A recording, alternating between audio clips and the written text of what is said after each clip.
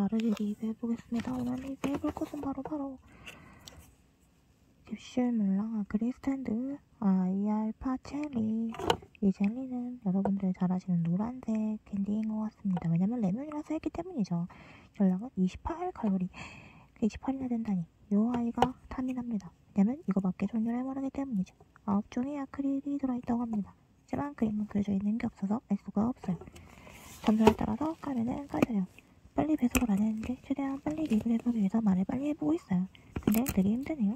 그러면 skip, 자체는 skip을 해보겠습니다. 여러분들부터 몇 가지 면을 보시면은 왜냐면 이렇게 위로 보면은 알 수 있지 않느냐. 하지만 혈점 여기 봉투에 이렇게 쌓여져 있는 걸 보면 이렇게 보면 보이지 않아요. 이렇게밖에 보이지 않기 때문에 뭔가 들어있는지 알 수가 없었어요. 그래서 제가 다라라라라라라 목욕하는 몰랑이가 나왔네요. 어떤 거인지 궁금했는데 여러분이 목욕하는 몰랑했어요. 너무 귀여워. 딱 가볼게요. 아, 까는 게 너무 힘들었어요. 잘 까지지가 않아요. 여러분이 아시다시피 노란색 젤리이고요. 종류는 여러분 여기도 제가 보았던 설명서에 있는 아이가 나왔던 것 같, 나온 것 같습니다. 자, 종류가 뭐가 있는지 한번 봅시다. 물랑은 이렇게 책으로 되어 있는데 보시면은 여러분 목욕하는 물랑이 1번이 나왔네요.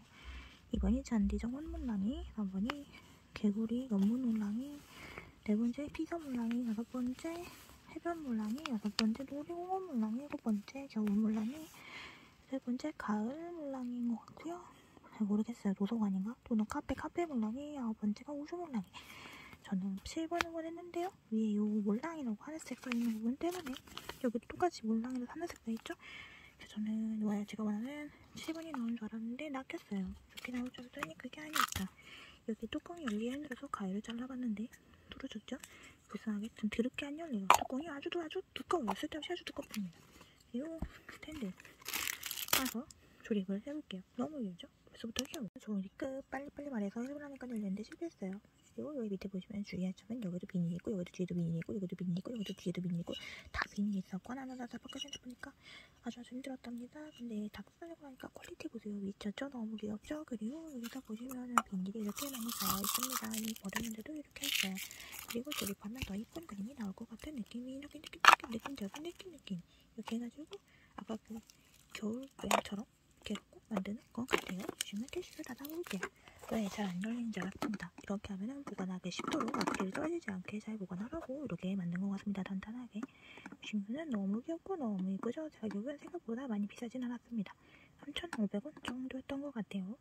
너무 귀엽죠? 여러분 몰랑이 몰랑이 하세요. 저 몰랑이 되게 좋아요. 그리고 옆에 보시면 목욕하고 스펀지로 몸을 문지르고 있는 몰랑이가 있어요.